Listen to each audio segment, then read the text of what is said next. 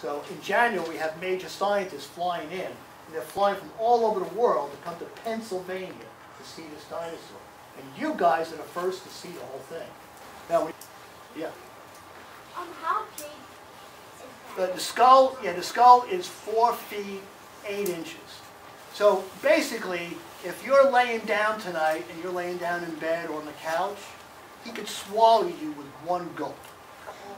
Unless you're big, unless you're bigger than five feet, then it's gonna take two bites. I'm four eleven.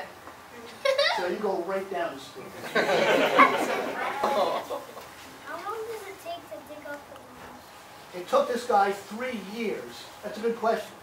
But it wasn't working all the time, because in Montana, it- it snows, and it gets really cold. So he only has like two or three months out of the year. So it took him over three years just to get all the animals. Dinosaur, which is up here. So this whole dinosaur is 40 feet long. To give you an idea, this room is like 22 feet. So take this room and then put another room next to it. That's how big it is. Yeah. Um, what kind of tools do you use to dig the, um, bones out the ground? Well, they use chisels and diamond blades. When we get it, we're using small little like, oh, you know what Dremel tool is? Well, it's really small tools, almost like dental picks and stuff to clean it up.